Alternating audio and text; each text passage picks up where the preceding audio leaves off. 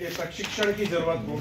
तो वो लोग एटलीस्ट निकल के बाहर आए, उनका एक आइडेंटिफिकेशन हो जाए कि हाँ ये वो लोग हैं जिन्हें इस तरह की आवश्यकता है।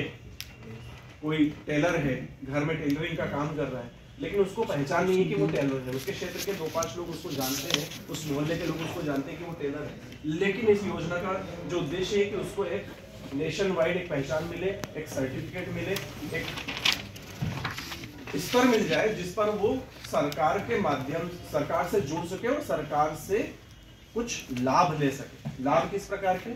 उसके कार्य संबंधित टूल किट के लिए उसको अगर राशि की आवश्यकता हो लोन की ज़रूरत हो, किसी